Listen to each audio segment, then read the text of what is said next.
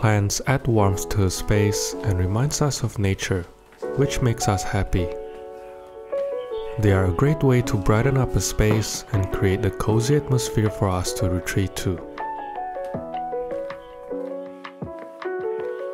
While there is a bit more maintenance and consideration when styling with plants than with objects, the results are worth the effort. How about drums? There are also countless products that can simplify the process and a huge range of species to choose from, some of which require very little maintenance. In this video, I'll take you through a tour of my houseplants, their names, and some resources that have helped me along the way. First is a snake plant in the corner of the living room. It grows upright which makes it perfect for a tight corner and is able to withstand stronger sunlight. They are also tolerant of low light where I used to place them near the corner of my entryway. Next to it is a peace lily plant which I've had for almost 2 years. It recently started blooming again as we're now in the early days of spring in Sydney. Above the entertainment unit is a felted peperomia which I recently acquired. Unlike other peperomias, the leaves are covered with small white hairs that give the feel and appearance of felt, which makes it extremely soft to touch. On the other side of the entertainment unit is another variation of the same family, the watermelon peperomia. It has a beautiful mix of green and silver stripes with red stems underneath. I placed it under a scone lamp which helps the silver variegation to sparkle. Beside is a shorter variation of the snake plant called Futura robusta. It grows compact with silvery green leaves making it a beautiful indoor accent. The console table to the left houses smaller plants, one of which is a Chinese money plant. This is one of the most sought after plants in recent times and is often featured in Scandinavian interiors. Another plant I recently acquired is a Raven ZZ plant. This variety used to be rare and expensive, but is now widely available at reasonable prices. It has deep purple glossy leaves that looks almost black in most indoor settings. The striking color makes it a great fit for decorating with black and white. In my office, I have a huge south-facing window that lets in plenty of natural light. On the corner of the desk is a philodendron birkin, which is one of my favorite choice of plants to decorate a shelf or table.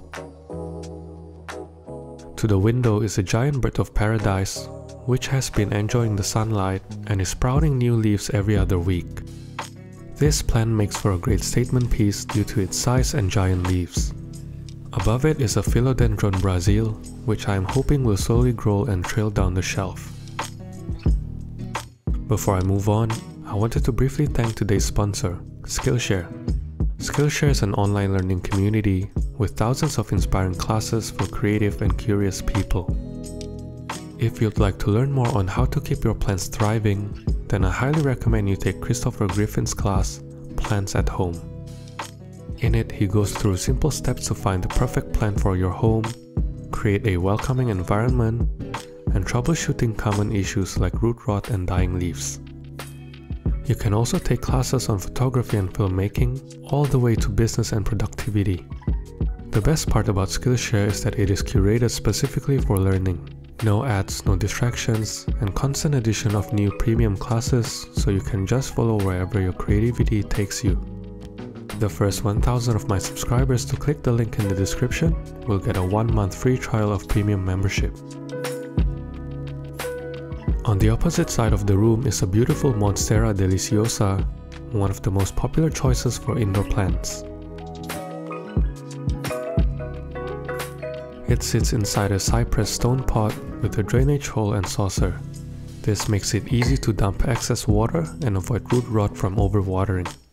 Hanging on the ceiling is two variations of pothos, a golden pothos, otherwise known as devil's ivy, and a marble queen pothos.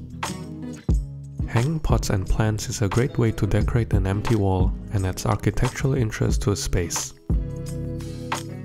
On the shelf is another variation of peperomia with a speckled marble look and thick succulent-like cupped leaves.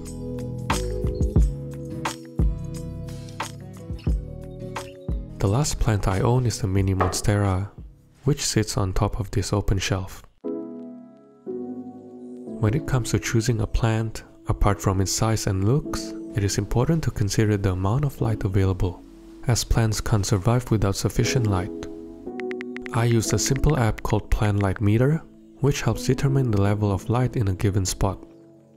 If you have pets around the home, make sure to do your research as some plants are known to be toxic for pets. As a beginner plant parent, there are a few resources and products that I've found helpful along my plant journey. The book Plantopedia is one of my favorite. It is a visually stunning book that contains more than 130 plant profiles, along with detailed care information and easy to reference table about each plant. For something lighter and easier to reference, this set of little plant books by Emma Sibley is very lightweight and useful as a quick guide after adopting a new plant.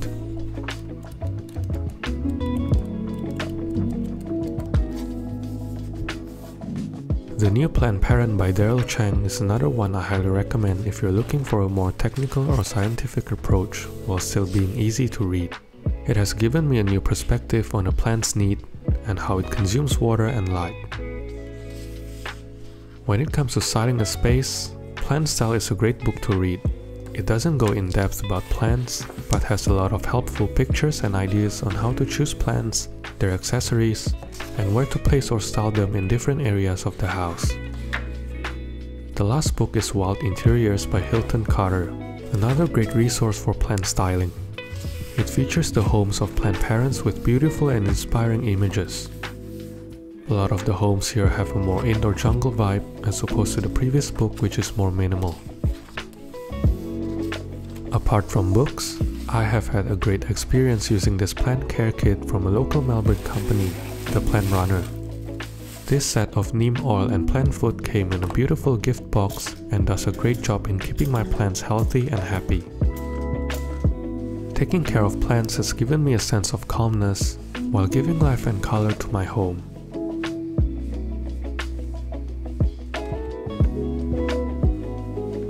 It is now a hobby that takes me away from the screen and busyness of everyday life.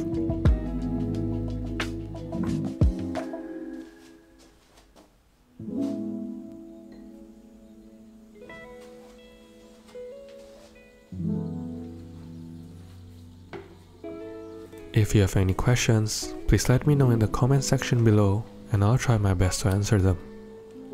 Thanks for watching and I'll see you in the next one.